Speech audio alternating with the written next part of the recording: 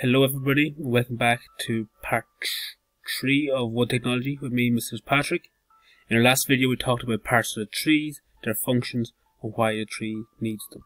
In this video we want to talk about forest thinning, debarking and turning logs into planks of wood. This is a short video with no question at the end.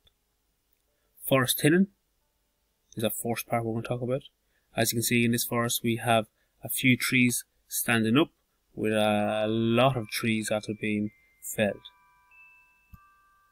Forest thinning is the removal of low value stems. Forest thinning allows better performing trees to increase in volume quicker. This is because more sunlight is getting towards the trees and they're allow um, they're creating more sugars through photosynthesis. Photo, uh, forest thinning increases profitability due to more valuable timber.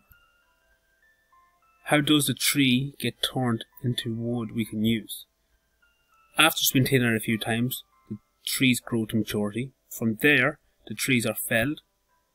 The trees are stacked in the forest until they're ready for transport. And finally, they're transported to the sawmill. Here is the steps after the sawmill, or when it gets to the sawmill. They're sorted due to their size. They're then debarked. They are sawn into different planks of wood. They are stacked due to their size and timber. Then they're dried, they're inspected, they're wrapped, and then they're transported out. In this video, we're going to talk about this section here and forest thinning as well. In the next video, we're going to talk about conversion of wood, and then we're going to talk about seasoning wood or drying of wood. Debarking. As you can see, we have a tree here that the bark's been taken off it another method of doing it. Depending on the tree, it might need to be debarked. This is done to protect the sawmill's equipment.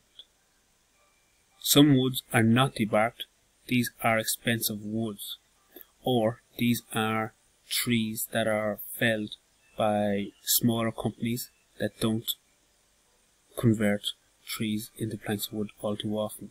That's why you might have the bark left on the tree.